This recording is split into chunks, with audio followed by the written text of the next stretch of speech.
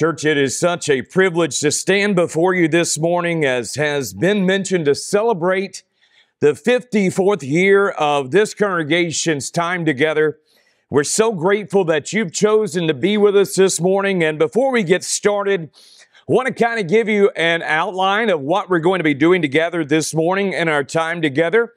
During this period of time in our message, if you have a copy of your Bible study outline, I would encourage you to take that out at this time. You're going to see on the back side uh, our Bible study outline in our weekly newsletter. You're going to find the sermon notes. Now, we're going to be dealing with the first half of this morning's message during this time together.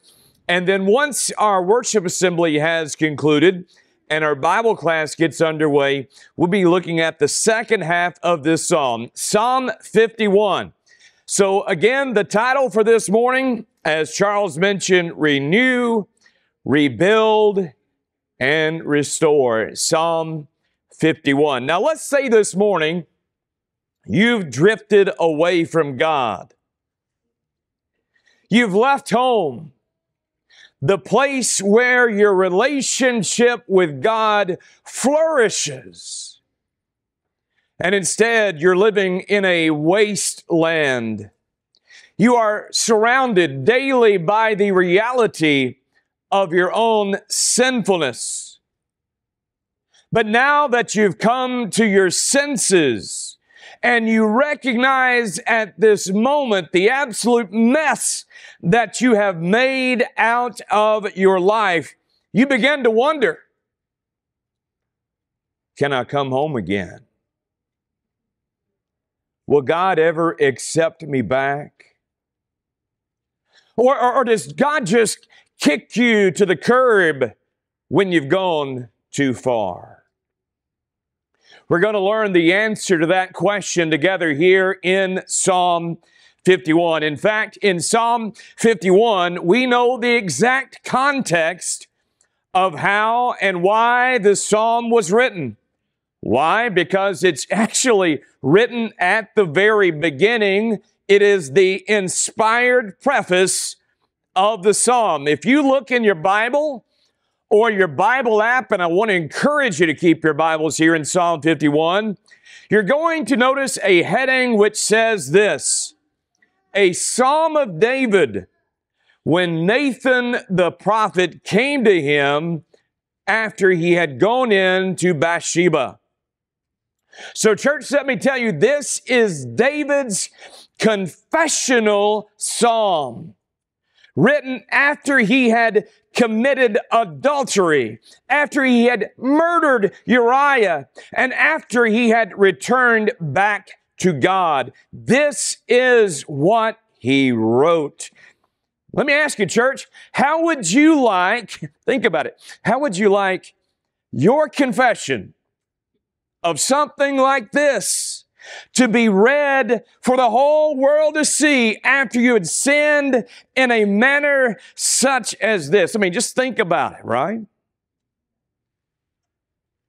But this is the psalm that God has given us, which will answer the question how do you get right when you've gone so wrong?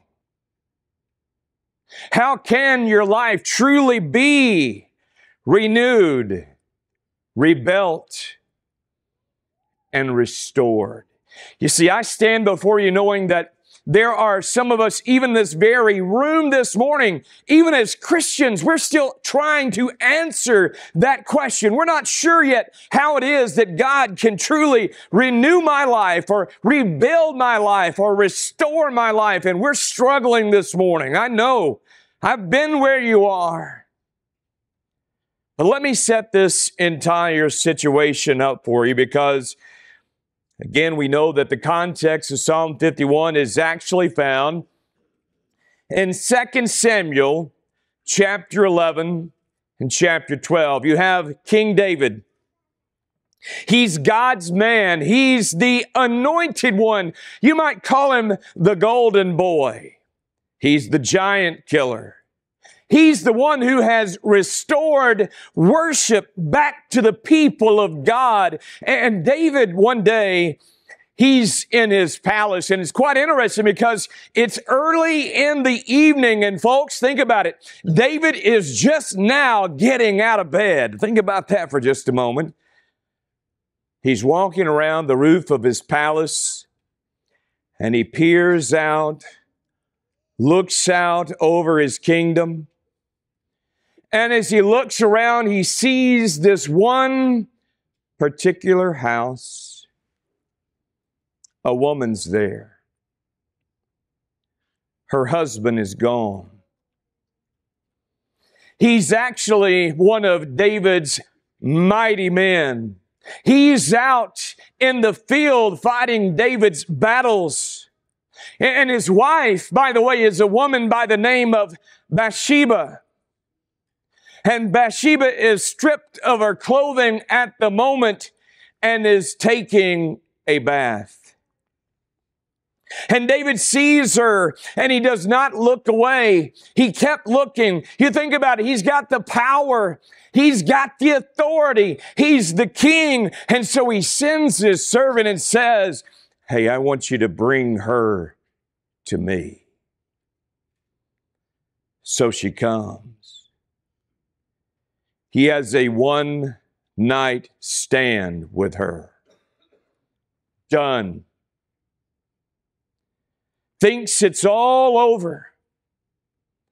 But then a few weeks go by and, she sends word. What does she say? David, I'm pregnant.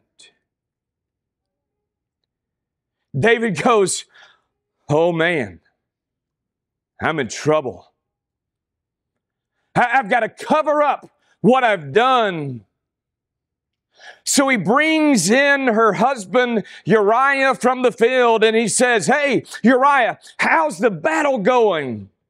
Uriah's like, David is going awesome. David says, Hey, I want to commend you for the great work that you're doing as one of my mighty men. And you know what? Since you're doing such a great job, you're, I'm going to give you time away from the war to enjoy your wife. But Uriah says, King, I, I can't do that. I mean, think about it, David. Uh, all of my men, they're out in the field. They're out in the night air. How can I go and be home with my wife knowing that my men are by themselves in the field? David says, Uriah, listen to me, man. You're such an honorable guy. Hey, you know what? Why don't you sit down with me and let's have a drink together? And so David starts to try to get Uriah drunk. And they drink, and they drink, and they drink. And sure enough, Uriah becomes drunk. And David thinks I've got him right where I want him. His decision making is clouded. And so he says, Uriah, go home. Spend this time with your wife. But Uriah still refuses the king's request. Because you see, church, at this moment, Uriah drunk is more noble than King David sober. And so what does David do? He, he takes the next wrong step, right? He writes a secret message to the general and he seals it and he gives it to Uriah. And Uriah takes the orders to the general. And David's orders say, put Uriah in the front of the line in the midst of the most heated battle and then withdraw from him until he dies. The general carries out David's orders. And the message comes back to Jerusalem saying, King David, sadly, Uriah has died in battle.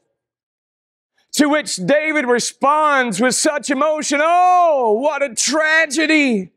One of my mighty men has died in battle. Oh, and, and look at look at poor Uriah's widow over there.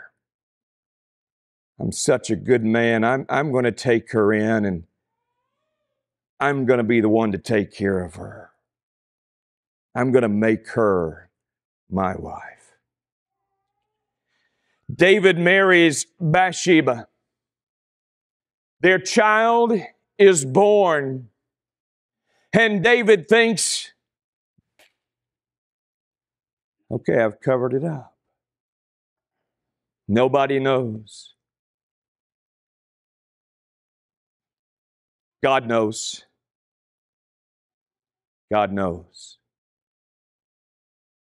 And God knows this morning, whatever it is that you're going through. So God sends a preacher to David. You know, God sends a preacher to you. And the preacher at that time was this guy by the name of Nathan the prophet. Now, every time I read this story of Nathan the prophet, my mind kind of goes back and I can't help but think about this bumbling detective I used to watch as a kid on TV on WBTM channel 42 back in Alabama, a TV show by the name of Columbo. Anybody remember that show? I mean, this guy was a blooming idiot, but some way, somehow, he got everybody to confess what they'd done wrong. That's exactly what's happening here. You see, you have Nathan the prophet, and he comes to see King David. And he says, King, I've got this problem, and it's really hard. I can't seem to figure this thing out. And David, I need your input on this. It's got me stumbled. So King David's like, Sure, sure, Nathan. What do you need? Well, David, this is the craziest story. Listen. You see, there's this really poor family. I mean, David, they can barely survive. They have one animal, one single, solitary little lamb. And, and, David, they've sort of domesticated this lamb. It's sort of become like family to them. I mean, even the kids sleep with a lamb. They eat with a lamb. It's crazy. And David, you know, David says, that's adorable, by the way, because I love sheep. Nathan goes, yeah, I know you do. But David, here's the sad part of the story. You see, David, there's this man that lives right down the road. He's a rich man, and David, he has got a whole flock of sheep. And he, he had some guests to come by, and he knew that he needed to prepare a meal for his guests. But instead of taking one uh, of the lambs from his mighty flock, he sends a servant out in the middle of the night and that servant sneaks into the bedroom where the children are sleeping and snatches that lamb out of their bedroom and wakes them up and scares them half to death. And he brings that lamb back home to the rich man, and they slay the lamb and kill it and serve it at the meal. Such a tragedy. King David, tell me something.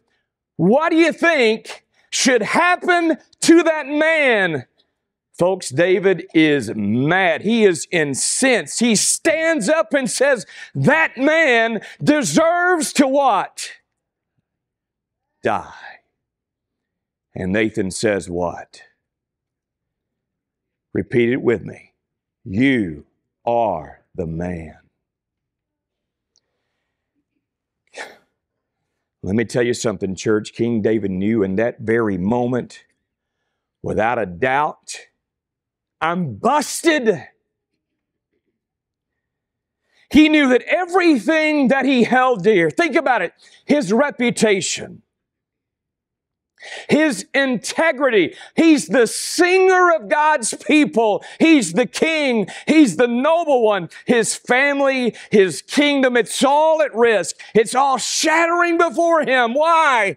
Because his hypocrisy has been exposed. So let me ask you, church, what do you do when you hit the wall like David just did? Can you return to God? Psalm 51 is David's confessional response. And let me tell you, church, before you dismiss any of these words this morning, let me tell you, it should be our confessional response as well. You see, you and I are gonna respond to sin in one of two ways. Either one, you'll repeat it, or number two, you'll repent. Repeat, or repent. let me tell you something I've learned a long time ago. Maybe you already know this. I'm sure many of you do. If you repeat a sin long enough, you know what happens to the guilt? The guilt goes bye bye. It's either repent or repeat. Well, thankfully, King David chose to repent. Otherwise, we don't have Psalm 51 this morning. And it's the very same thing for you and me. If we are going to return to God, if we're going to experience being renewed, rebuilt, and restored, there has to be a homecoming. So, the initial step, if you have your Bible study outline here on your screen, the initial step is repentance. Write that down, if you will.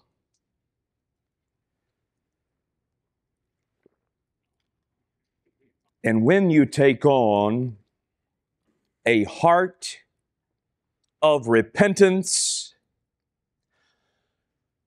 church, there comes a moment in your life where you must come to terms with your own sinfulness. Repentance requires number one, being honest about your sin. Beginning in verse 1, read this with me Psalm 51, verse 1. David says, Have mercy on me, O God, according to your steadfast love, according to your abundant mercy, blot out my transgressions. Wash me thoroughly from my iniquity and cleanse me from my sin, for I know my transgressions and my sin is ever before me. Repeatedly, if you read that with me, you heard three words I, me, mine. It's me.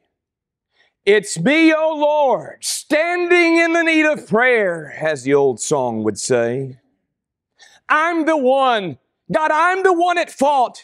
See, David doesn't do like modern politicians, right? You see, modern politicians, they get caught and they say, well, it wasn't my fault. I mean, after all, it was Bathsheba's fault. I mean, she was the naked one. I'm the victim here. Wow, if you think about it in today's life, everybody's a victim. Am I right, church? No, David, he, he doesn't do that though. He comes clean. He didn't make any excuses. He didn't do what we tend to do and minimize. He didn't say, well, you know, I've got this condition or I made a little mistake. I got a little sidetracked. No. Instead, church, he calls sin what it is it's evil, it's wrong. Folks, just imagine David in this moment. He's literally a broken man. Think about it. Just a few moments ago, he's on that palace rooftop and he's looking out over his entire kingdom, thinking, I'm in control. This is all mine. I can tell anybody what to do and they'll do it because I am king. And now he is laying down on a cold floor, crying out to God. And I'm going to tell you something, church, if you don't realize it already, that's where you and I need to be sometimes. There are four things here that stands out to me so vividly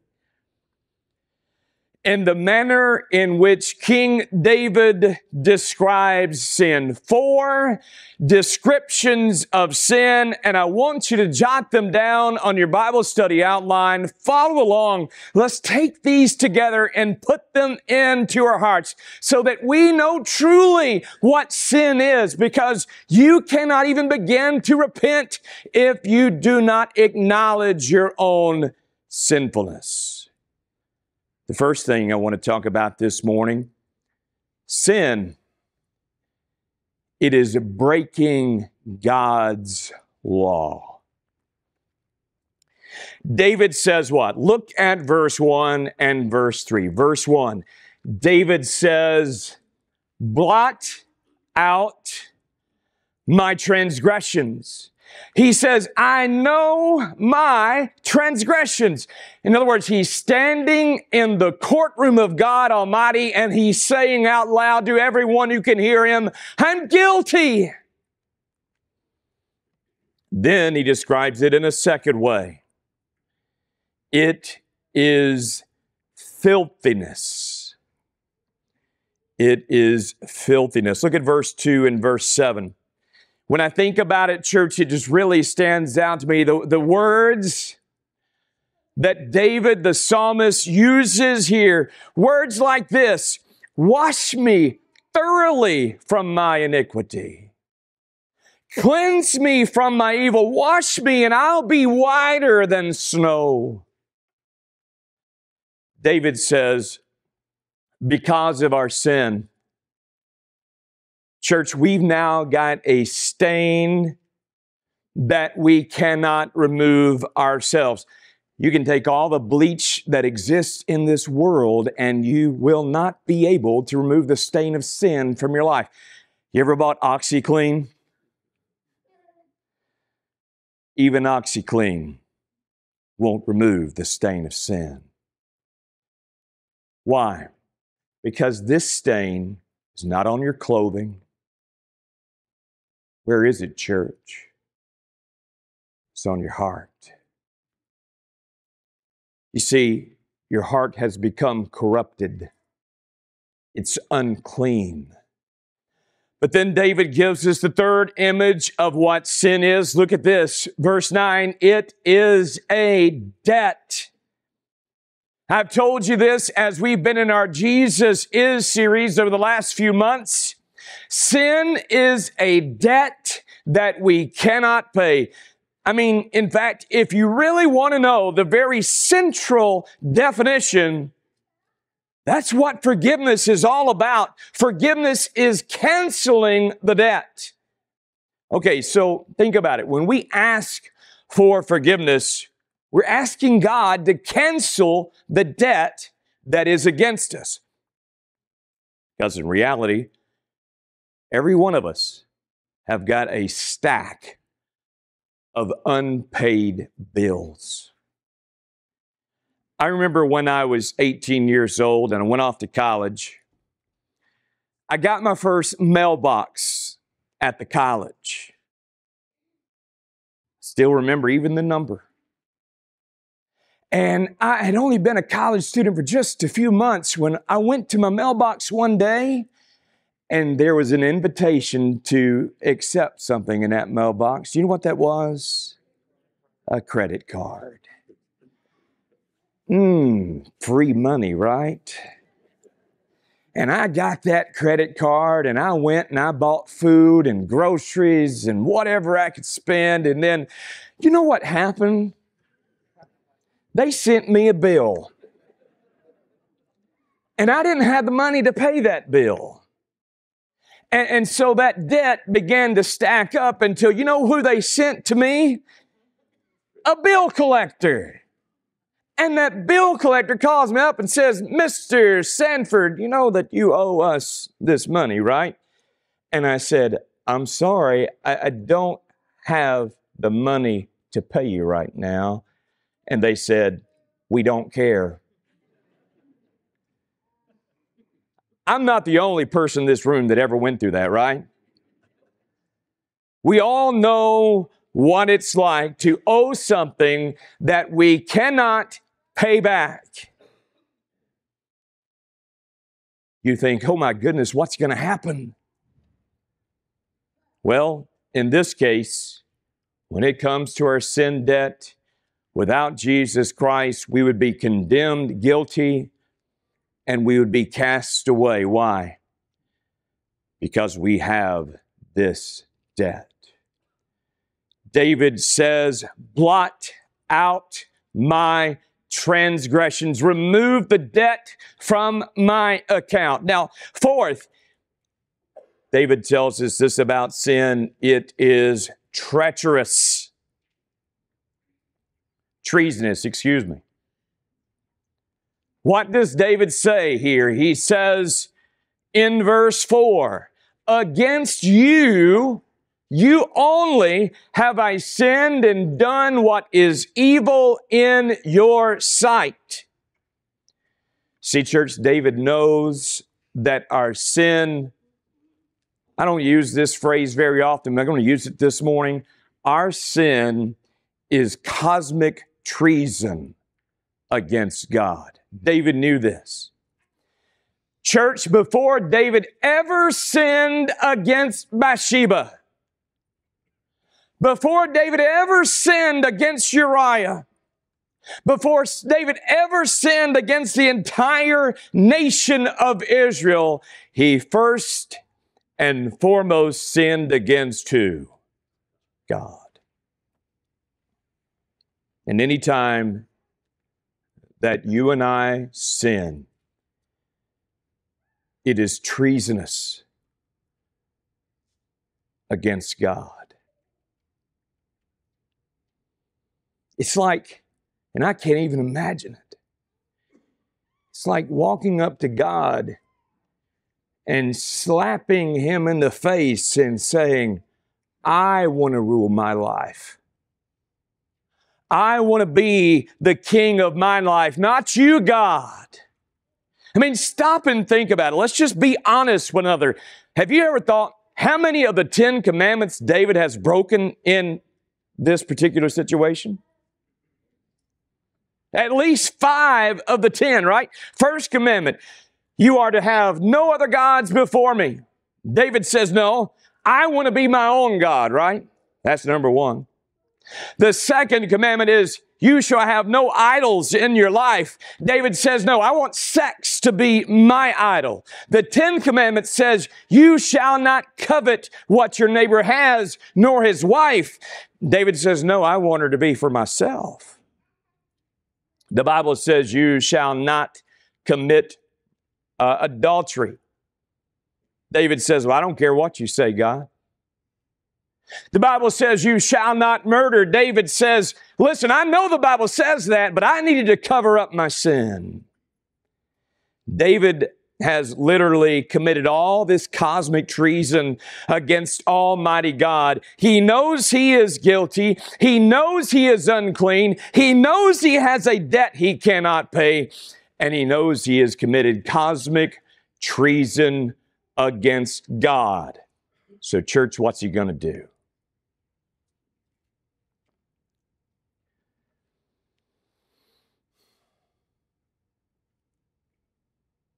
Does one of the hardest things that any of us in this room will ever do. He confesses. See, brothers and sisters, if you want healing, the first thing you've got to do is admit you're broken. If you want cleansing, then the first thing you've got to do is come clean. If you want forgiveness, You've got to repent. Now, there's an incredible contrast here because this story starts off David's up on the rooftop proclaiming, I'm the king, telling people what to do. And now he's this broken, broken man. And that's what the first nine verses of Psalm 51 teach us. David is broken before Almighty God, and that's where God will have us to be at times ourselves. But before we close up this first half of today's message, let me tell you, I've got good news for you. God will break us. We will hit rock bottom. But when you eventually hit rock bottom, let me tell you what you discover at the bottom God's grace. Praise the Lord for His grace and His loving kindness. Now, we're going to sing together this song of encouragement this morning. Maybe you are broken. Maybe you are miserable. Maybe you are hurting. Maybe it's because of the own sin ridden life that you have allowed yourself to become on a daily basis. You are eh, like David, you're laying on the floor every day crying out, God, I am a broken, miserable person. The first step is to repent and confess the sinfulness in your own life. But I'm going to tell you what, church, you know how many stones we have available to throw at each other this morning? Do you know how many? Not a single one. So if you need the prayers of this church family to help you out this morning, we can serve you in any manner, whether it's through prayer for forgiveness or you need to put on Christ in your life. Let us lovingly care for you as we stand and sing together. How's everybody feeling?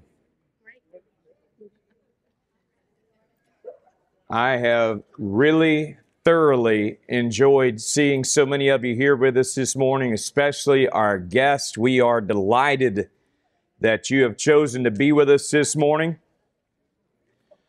How many of you still have a copy of your Bible study outline? Raise that up if you do. All right, that's wonderful. So, this is a Bible class format. And I'd love to have your feedback as we continue in this lesson this morning. But first and foremost, let me ask you how many of you how many of you Psalm 51 is one of your favorite passages or favorite uh, chapters of Scripture? How many of you? Yeah. Why do you think it is, class, that so many of us are attracted to Psalm 51? Hope? The need of grace. The need of grace. God's arms are always open. I like that. Anybody got any other ideas? Alan? Drives home who I am really sinning against. I, I like that, Alan. Very wise perspective. Church, I want to begin today's Bible class by asking you Aren't you thankful that even when we sin, that there is the grace of Almighty God to restore us? That's the second part of today's lesson from Psalm 51. To remind you, the first part was repentance, right? Coming clean. So you might be wondering, what's the second part? The next step, as you're going to see on the screen, is restoration. Restoration. I was just talking with some of our guests with us this morning and about the story about the credit cards and and uh, I didn't finish the story. You wondering what happened with the debt that I racked up? It took me like six years to pay it off. Yeah. Because four years in school, I was broke. And then, you know, it, it my parents were not the kind of parents to bail me out. Their mindset was you've gotten yourself into this mess, you can get yourself out, right?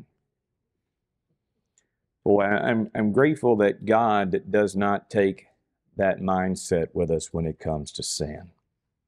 You got yourself into this mess. God doesn't say, well, you got to get yourself out of it. No, He lovingly guides us into restoration. I'm so thankful that we serve a God who is not only righteous, but a God who is forgiving. A God who forgives and cleanses us and changes us. But here's the deal. You see, when God, when we repent, it's not that God just forgives us. See, a lot of us in the church, we have this mindset that we sin, we repent, God forgives us, and it's all said and done. But that's not the way it works with God. You see, God wants us to change.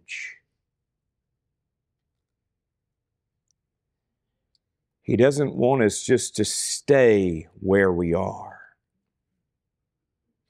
See, what God wants to do is change us into a different kind of person. So let me ask you, class, how many of you are different today than you were, say, one year ago?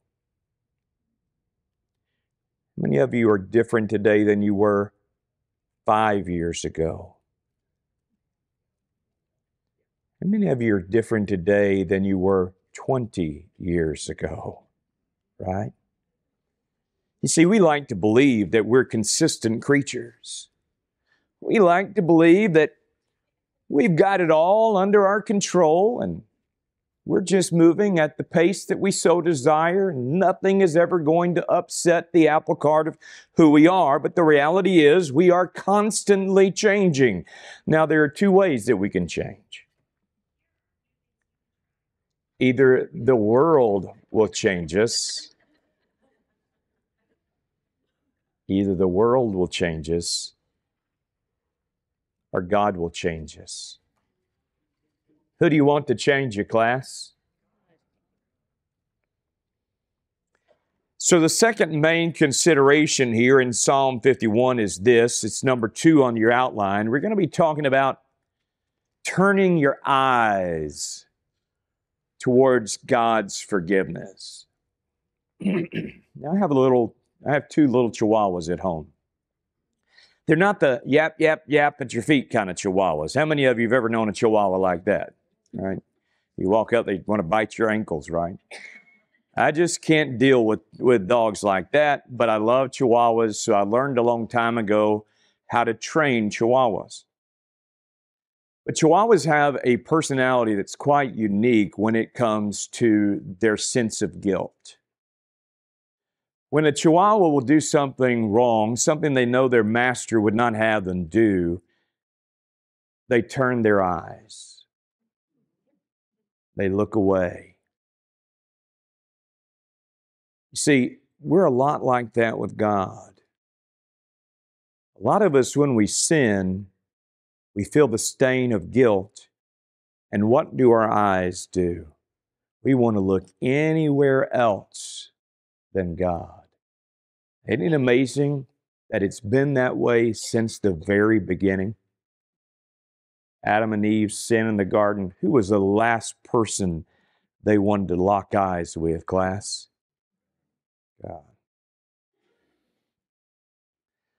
But I want you to notice this morning that when God restores you, when your eyes are truly focused on His forgiveness, Class, He's going to accomplish four very essential things in your life. And, and let me tell you, class, you can't truly exist. You cannot truly survive this Christian walk without these four things. Sadly, a lot of us try to, though. So let's discover what these are. Number one here on this list, the first thing that will happen when you turn your eyes towards God's forgiveness, God will change your heart. I imagine that most of us in this room could, by memory, quote Psalm 51, verse 10 Created me a clean heart, O God and renew a right spirit within me. Say it with me. Create in me a clean heart, O God, and renew a right spirit within me.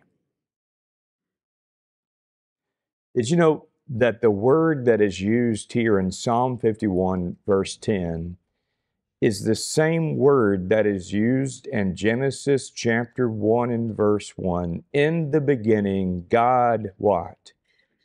Created. It's as if David is saying here in verse 10 God, there is something that is not existing, and that is my heart. My heart's not right with you, God. I've got a heart that is wayward. I've got a heart that's messed up. I've got a heart that's not even close to faithful. And I, I really hope and pray that we will learn, as David did, to ask God this question God, Will you change my heart? How many of you have ever prayed that in your life? Don't raise your hand, just think about it. How many of you have ever prayed, God, would you please change my heart? If you will do that,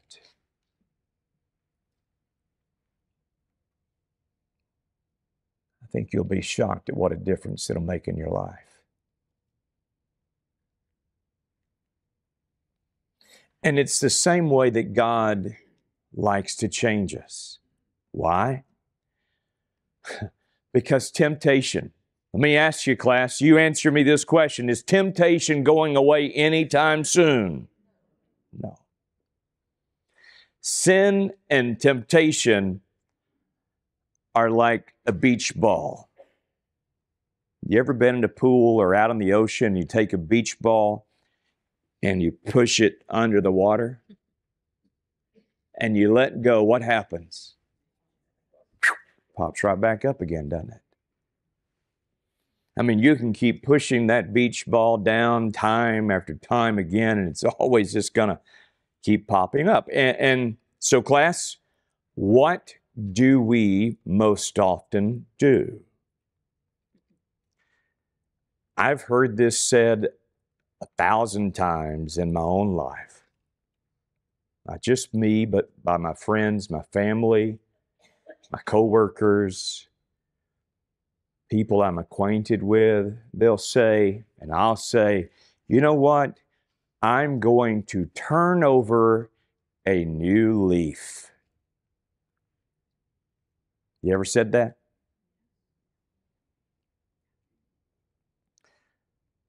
But you know, the truth is, commitment only goes so far, doesn't it?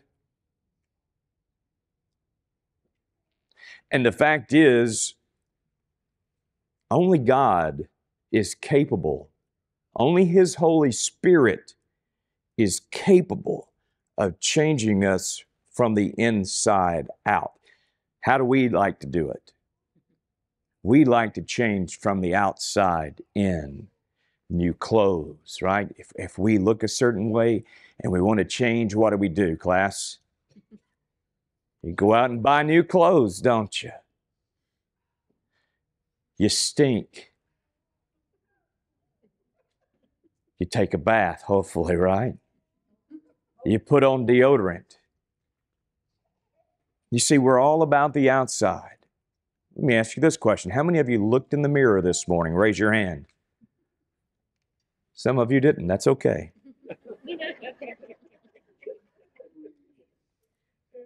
it's sort of like this boy, and I love this story, I've heard it a million times. It's sort of like this boy who promised his mother that he was going to save his money during the week to put it in the collection at church. And every week he would do so good on Monday, Tuesday, Wednesday, Thursday, Friday, man, he was hitting a home run. He was saving his money. He was excited. He was going to put it in the plate at church on Sunday. But every Saturday, there would be this little noise that would come through his neighborhood. It was an ice cream truck. And every Saturday, he would spend all of his money on ice cream. This happened for two or three weeks in a row. So one Friday night before bed, his mother heard him praying, Oh God, please keep the ice cream truck from coming down our street tomorrow. I got to tell you something. The ice cream truck's going to keep on coming. Now, what is your temptation? I don't know what your temptation is. Maybe your temptation is ice cream. I, I, I, don't know. But the fact is, that temptation is going to keep on coming. And so you can either wisely think, I've got to have an outside source of power or you can keep on thinking every time you fall into the same trap, well, next time I'm going to do better. But the reality is, you need a change of heart. You need a right spirit. You need God to create something in you. I like to put it this way and this has been something in my life that, especially over the last decade, I've really come to realization of. I need God to change my want tos. My want tos. And God says, if you will repent and seek me, I will change your heart. I'll create something that doesn't presently exist in you. I'll give you a new heart. I will give you a right spirit. That's the first thing that God does when He restores us. But what about the second thing? God will restore your joy. Look at verse 8. Let me hear joy and gladness. Let the bones that you have broken rejoice. Verse 12 Restore to me the what? Restore to me the what? One more time. Restore to me the what? Class David is saying, God, I once had a joyful relationship with you, but I drifted away, and now my joy has vanished. I asked you a moment ago, are you willing to pray that God would change your heart? Let me ask you, are you willing to say that prayer today? But what about this next one? Will you be willing to pray, God, will you please, please restore my joy?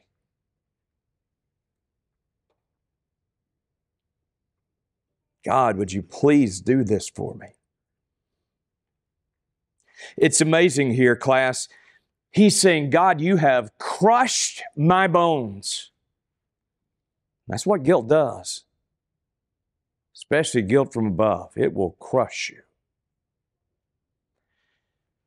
God, you have crushed my bones. Now make them rejoice. Now, let me put it back on you for a moment.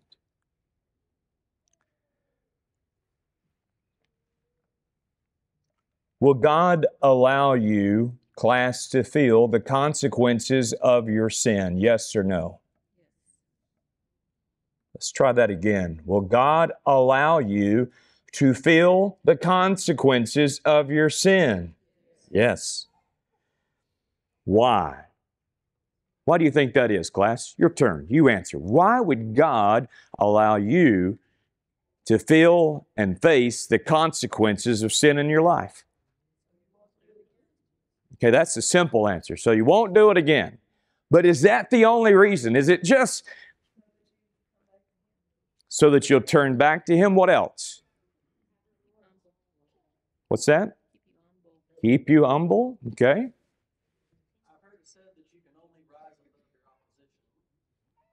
You can only rise above your opposition. Okay. It sure is. That's right.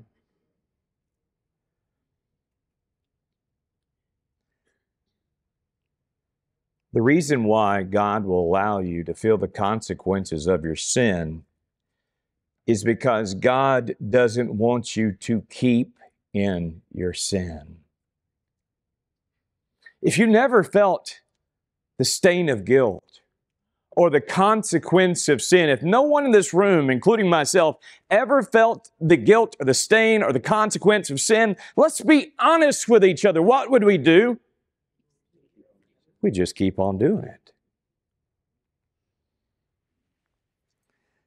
God will allow you to feel the pain. And here's why the ultimate biggest answer I can give you is that God cares more about your holiness than He does your happiness. That's a hard one to swallow sometimes. And here's the reality there is a pathway to joy, but that pathway starts with repentance. That is the first step of the journey. See, we've got the wrong image in our mind of repentance. We somehow think, okay, following Jesus, man, it's drudgery, it's hard, and oh my goodness, following Jesus is so joyless. And, no, that's the biggest lie. The ultimate joy killer is sin. And if you want to be restored, the first step is repentance. That is the way back to joy. Think about it for a moment, class. Do you realize that David, for the last year of his life, had been living a double life? You ever stop to think about it? For around a year, he has been living a double life. And it's been a joyless life. Yeah, I mean, he still went through all the motions. Think about it. Every Sabbath, he'd go to the synagogue or the temple and he'd be a part of the worship. But when he would be a part of that worship, something felt off, didn't it? The singing didn't sound quite right. Maybe he thought, well, the song leader this morning, he ain't that good anymore. Uh, I don't know what's going on with our singing here inside the synagogue today. Or, you know, Nathan, the preacher man, he used to, every Sunday, Nathan would hit home runs, but now there's just something off with Nathan. There was nothing off with the worship going on in the synagogue. There was nothing wrong with the preaching. What was wrong? David's heart lacked what? Joy. Because the joy is gone. Like the song says, the thrill is gone, right? Why? Because when you're all out of sorts with God and you're in sin, there's no joy there. Yeah, you may have a temporary thrill, but there's no real joy. and the joy of David's life is gone. He says, Oh God, please restore to me what? The joy of my salvation. Let me ask you, class. Do you know any joyless Christians?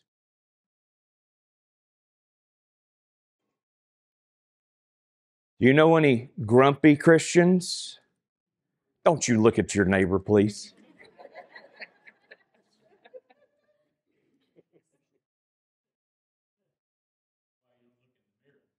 Ooh. Ooh. Woo. I'll step down and let you finish.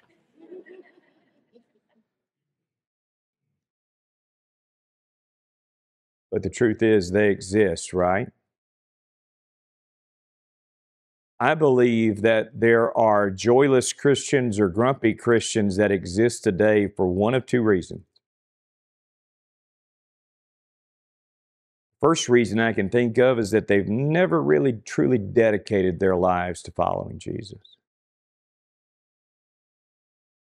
Maybe they've been going through the motions, but they've never really said, it's time to really put myself into Jesus' hands.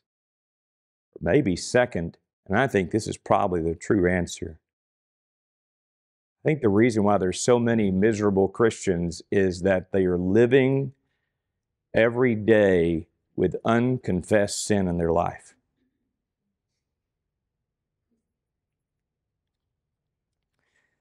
I like to say it this way, and you might write this down if you think it helps you. Unexpressed repentance is inexperienced joy. Unexpressed repentance is inexperienced joy. If you want joy, it comes through repentance. I mean, you really and truly got to come clean with God. And so God says, okay, when I restore you, I'm going to change your heart. I'm going to give you your joy back. But is he done right there? Is it all he does? No. Look at the next thing. God will use your experience. I like to say it this way God will take your struggles and use them to help fellow strugglers. You see, we're all strugglers in here. Pay attention to how he says this in verse 13. Look at this with me. Then I will teach transgressors your ways. And what does he say next? And sinners will return to you.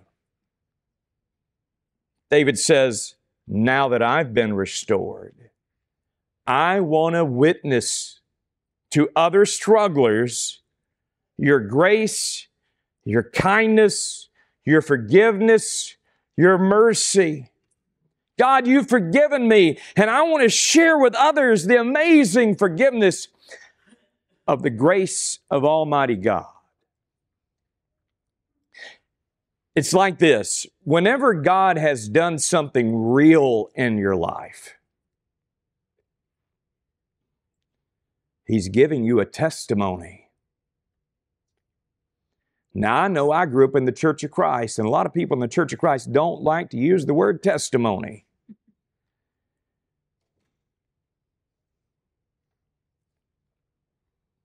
But your testimony is simply sharing what you've experienced, what God has done in your life. And there is nothing unscriptural about sharing the grace of Almighty God. The right time, when the time is appropriate, you need to testify. It saddens me that um, people very seldom hear us talk about how God has restored us. I don't want to pick on anybody in this room, But I, I do know there are people in this church that I've gotten to know over the last five and a half years that do this. They, they are ashamed of who they were. They don't like who they were, but they sure know how powerful it is to tell people where God has brought them today. Maybe that's you.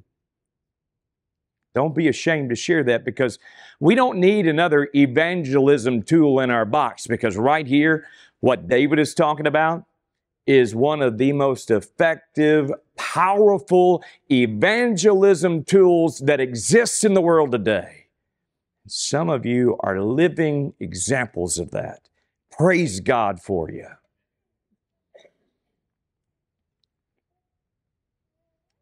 And one of the greatest benefits of being restored by God is that you now have a story to share with other people.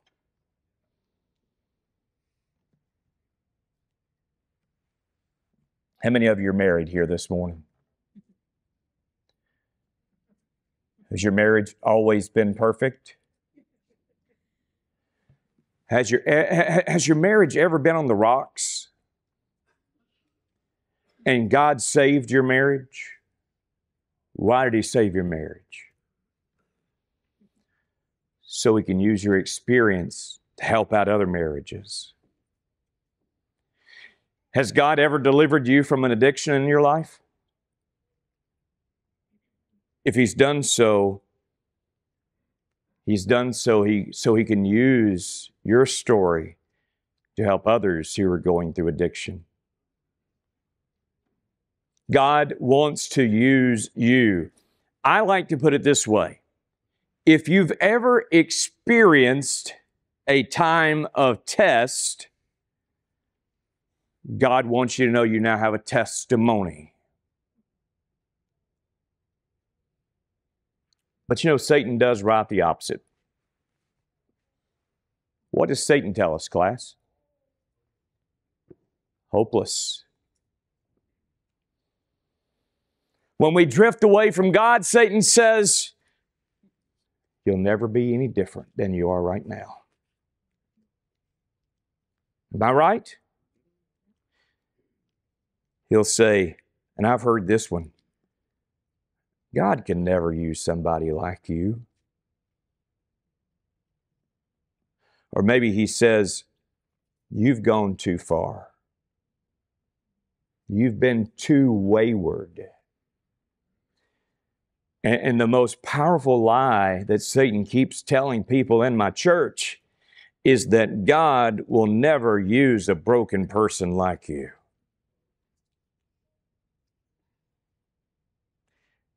Satan has the worst accusatory voice that's ever existed in this world. But, class, I want you to realize something. We are studying a psalm written by a man who committed adultery and murder. And if God can restore that man, he can restore you. That's hope. Who said that over here? Who said hope earlier? Phil. That's hope. God wants to use your experience. God wants to use your story. But here's the final thing, and then the message is yours. God will fill you with worship. For 30 years, I'm just estimating here, 30 years, David has been the writer of all these amazing Psalms. Most of the Psalms here in the book of Psalms are written by David. But I want you to think about it. Over the past year of hypocrisy and sin, you know what's not been happening? David hadn't been writing any Psalms, especially not any joyful ones. I mean, what did David do with his harp? It's in the storage closet.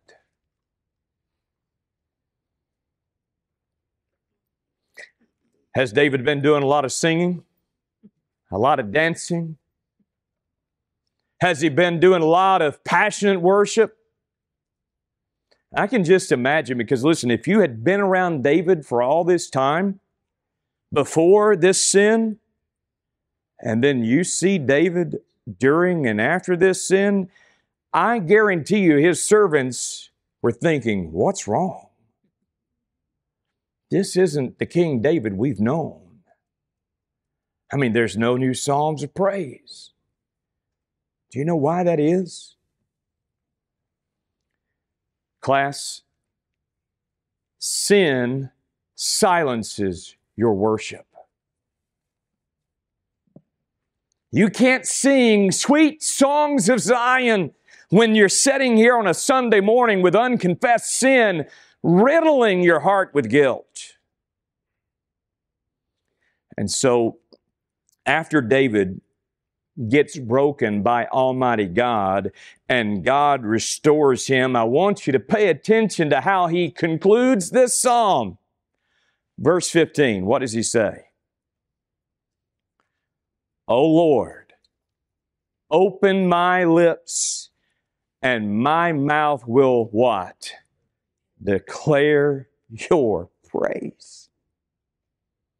Here's David. He's this man who is broken. He's lying on the floor crying out, Have mercy on me, O God. He's just, I mean, he's confessing before God.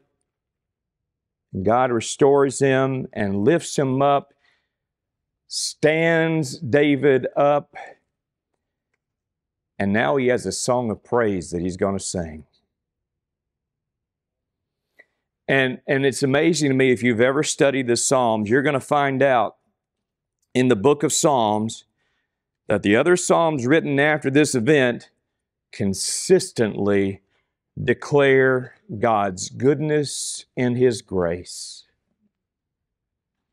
You see, the reality is if you don't repent consistently, you will not worship passionately. Let me say it again. If you don't repent consistently, you will not worship passionately. If you're a Christian this morning and you are struggling to exude passionate worship, it's not the song leader's fault. It's not the prayer leader's fault. It's not the person presiding over communion, it's not the preacher's fault. In most cases, you know whose fault it is that we don't experience passionate worship? I think you know the answer. Folks, repentance is a key to worship. That's why here at Watters Road Church of Christ, we do everything we can, whether it's in our worship assembly or our Bible classes. We do everything we can to make sure we are preaching and teaching the Word of God. Jerry, do I sometimes preach hard sermons? You step on my toes all the time.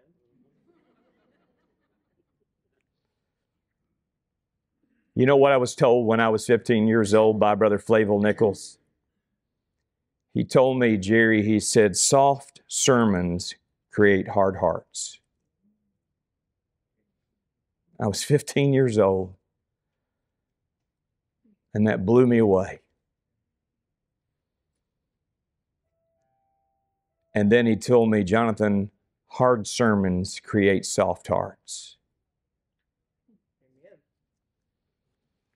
And I want you to be exposed to the Word of God so that God can cleanse your heart. Got five minutes.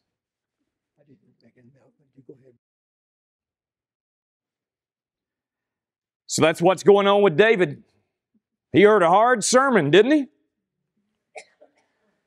And I love the illustration that David the prophet or Nathan the prophet used, right? I mean, what a convicting illustration.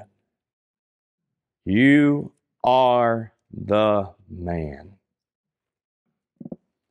You know, if you think you're going to hide something from God, class, Guess what? You're not. Look again at how this psalm starts off. Verse 1 Have mercy on me, O God. Why? According to your what? Steadfast love. David starts off saying, I'm stained, I'm guilty, I have all these debts, I have all this cosmic treason that I've committed against you, but I know this, God. I know you, that you hate sin, but I also know, God, that you are forgiving. Blessed assurance, Jesus is mine.